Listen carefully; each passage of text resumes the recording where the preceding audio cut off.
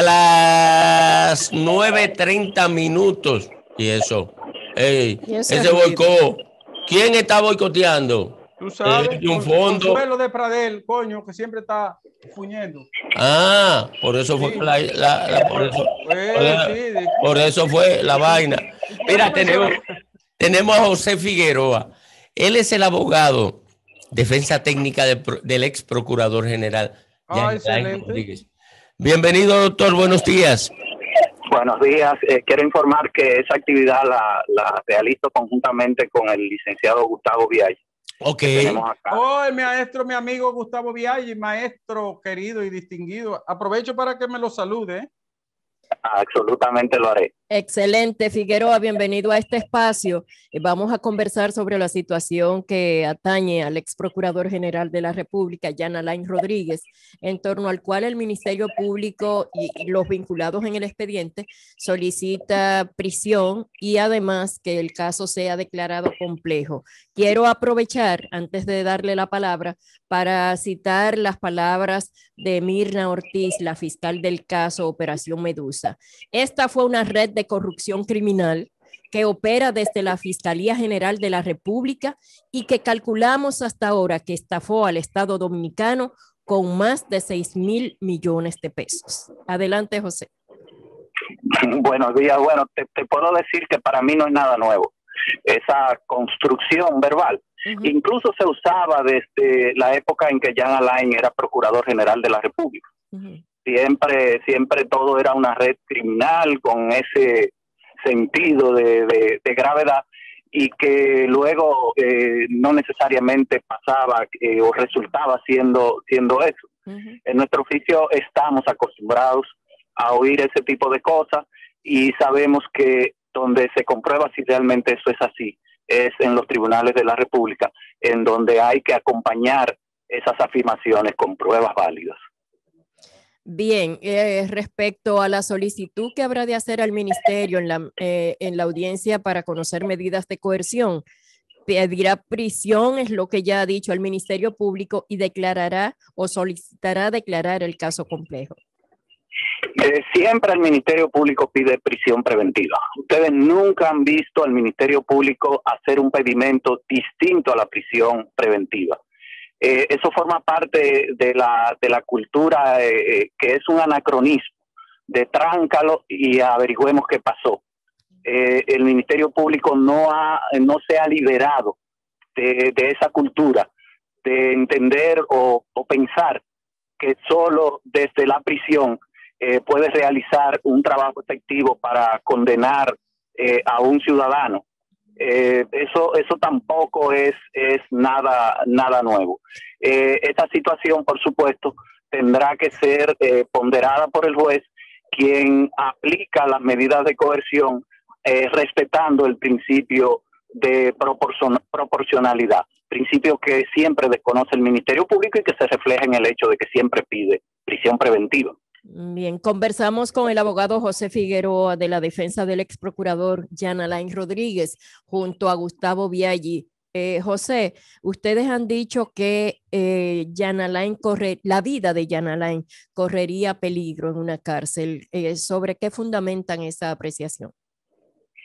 Mira, eh, una persona que ha tenido la función que desempeñó eh, Jean Alain Rodríguez durante cuatro años, que era precisamente eh, enfrentando el crimen, que es la función clásica, no básica, de la Procuraduría General de la República, eh, hace pensar como lógico que estar en la cárcel implica imponerle que comparta un espacio con gente que, que lo malquiere en atención a que pudieron en uno u otro momento eh, verse afectado por una decisión institucional de ese, de ese ciudadano.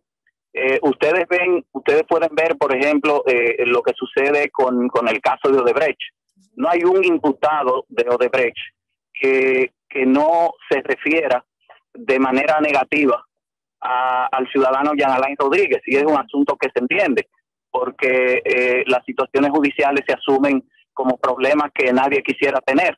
Eh, generan agonías, preocupación, malestar, eh, problemas familiares, afecta a la familia, etcétera, etcétera. Entonces es, es una situación natural y eso refleja lo que pudiera ser el sentir de otras personas que en ese caso estarían guardando prisión también, que no tendrían eh, una actitud, eh, digamos, eh, que uno pueda confiar eh, en que no sea peligrosa para, para el ex procurador. Es verdad. Yo hablo con mi conciencia de expreso. Es verdad que Jean Alain corre riesgo en la cárcel. En función de cómo es la vida interna de las prisiones. Pero siempre hay posibilidad de protección. Lo había antes y lo hay ahora. Cuando tú crees que él corre riesgo, que yo insisto, es verdad, porque él tiene mucha gente acusada por él que tienen profundo resentimiento. Pero eso remite a una tarea de la que Jean Alain fue responsable, cómo funcionan y se administran las cárceles. Él va ahora a enfrentar un problema que fue alimentado también por él. ¿Qué quieres con ese reconocimiento que se haga? Prisión domiciliaria. Bueno, mira, eh, eh, eso, eh, perdone que lo tutee, Fapa. Eh, es- ese- esa situación ya lo evaluaremos en el tribunal, porque cuando nosotros decimos que él cor- podría correr peligro su vida en la cárcel, no quiere decir que nosotros en el tribunal eh, justificaremos que no es necesaria la prisión preventiva para garantizar su presencia en el proceso eh, nosotros esa tarea necesariamente tenemos que desarrollarla en el tribunal. Eh, sencillamente hemos externado una preocupación, una preocupación que, digamos, nos comprometa a todos en el sentido de ponderar objetivamente la situación de si es necesario o no que un ciudadano cualquiera eh, se presente a un proceso judicial solo en el caso de que esté guardando prisión, cosa que yo eh, profesionalmente no, no comparto. Yo he tenido casos de corrupción administrativa, casos eh, eh, grandes de, de lavados de, activos y, he- he llevado esos casos con los clientes en libertad y han estado ahí hasta, hasta el final. Y algunos de ellos incluso han sido descargados. O sea que esa es, esa es la situación. Nosotros hacemos, damos una alerta, manifestamos una preocupación. Pudiéramos estar equivocados, pudiéramos estar equivocados, pero eso no nos libera de nuestra responsabilidad de certificar en el tribunal que ya Alain Rodríguez se va a presentar a todos los actos del proceso en que sea requerido, como lo hizo el día después de su allanamiento. Ujú. Jean Alain Rodríguez no fue capturado huyendo. Una vez se enteró de que habían acciones en su contra, anunció que se presentaría a la Procuraduría, sabíamos que había una orden de arresto y él responsablemente enfrentó la situación yendo a la Procuraduría y poniéndose a disposición de la justicia. Pienso que eso es una señal que dice que este ciudadano no va a evitar ese proceso judicial. Bueno, José, hay una impresión en la población, una impresión respecto a la probabilidad de que Jan Alain, que tuvo ya dos dificultades en momentos en que iba a hacer un viaje fuera del país, eh, tuviese la intención de colocarse en un país en el que no existiese relación eh, de suerte que pudiera eh, abocarse a una, a una solicitud de extradición, por ejemplo. Mira, esa es una situación que a mí me ha parecido siempre simpática al- alrededor de, de- del caso de Jean Alain Rodríguez. Nosotros hemos visto, como, como bien tú dices, que en dos ocasiones ha sido impedido de salir por unas alertas migratorias ilegales. Entonces, él trata de salir un viaje normal creyendo que es un ciudadano común y corriente, que eh, la disposición del artículo 40 de la Constitución no le es ajena, que nadie le puede impedir su libertad de tránsito, trata de salir de manera arbitraria, le impiden que salga, que salga y entonces dice, bueno, mira, a contigo hay peligro de fuga porque tú trataste de salir dos veces. Yo diría que lo grave ahí no es que Jean Alain, sin, sin impedimento de salida, tratara de salir. Lo grave ahí es que le hayan impedido Mira, sin que haya orden de juez competente. Esa arbitrariedad es una verdadera bestialidad. Tanto así que la cabeza del Ministerio Público, en un acto de responsabilidad, reconoció que eso era una ilegalidad. Y siendo así, en modo alguno, podría derivarse consecuencias negativas en, eh, digamos, en el razonamiento que haga el juez para determinar si hay o no peligro de fuga eh, en el caso del ciudadano Jan Alain eh, Rodríguez. Bien, por último de mi parte, ¿ya se fijó la audiencia? ¿A qué hora sería? ¿Cuándo sería?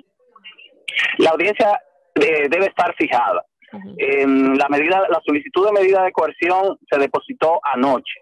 Por tema de toque de queda, ustedes saben que nosotros no tenemos la ventaja del Ministerio Público de que estamos impedidos de circular durante el toque de queda. Eh, entonces no hemos podido tener todavía en nuestras manos la solicitud de medida de coerción. Se nos informó que hoy a las 11 de la mañana eh, se le iba a notificar, porque tratamos de obtenerla en la Secretaría del Tribunal, y nos dijeron que no era posible que se nos entregara y que se le iba a notificar a las 11 al ciudadano Yanalain Rodríguez y que a partir de ese momento pues nosotros ya tendremos en nuestras manos la solicitud de medida de coerción y sabríamos con exactitud la hora y, y, la fecha de la audiencia. Suponemos que debe ser mañana, pero no, no estamos seguros porque no tenemos esa notificación todavía. Bueno, muchísimas gracias, José Figueroa, abogado de la defensa del ex procurador Jan Alain Rodríguez, junto al también abogado Gustavo Viaggi. Muchísimas gracias por participar en este rumbo, el rumbo de la mañana, que también es